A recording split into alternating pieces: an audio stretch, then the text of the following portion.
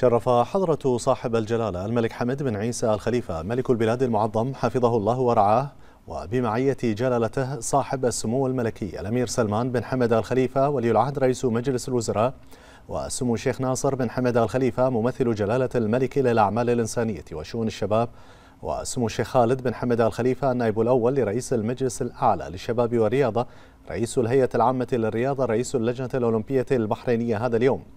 حفل زواج سمو الشيخ محمد نجل سمو الشيخ عبد الله بن عيسى بن سلمان الخليفة وذلك في قصر الرفاعة كما حضر الحفل كبار أفراد, كبار أفراد العائلة الملكة الكريمة وكبار المسؤولين في المملكة وكبار المدعوين. وهنا جلالة الملك المعظم حفظه الله ورعاه سمو الشيخ عبد الله بن عيسى بن سلمان الخليفة وإلى نجله سمو الشيخ محمد بهذا الزواج المبارك الميمون. متمنيا جلالته لسمو الشيخ محمد حياة زوجية سعيدة مقرونة بالرفاه والبنين.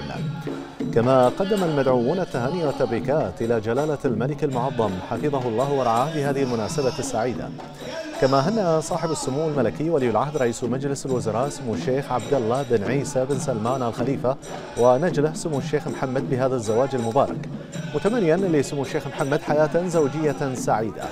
وقد رفع سمو الشيخ عبد الله بن عيسى بن سلمان الخليفة أسمى آيات الشكر وعظيم التقدير والامتنان إلى حضرة صاحب الجلالة الملك المعظم على تشريف جلالته حفل زواج نجلة سمو الشيخ محمد وعلى تهاني جلالته ومشاعره الطيبة النبيلة.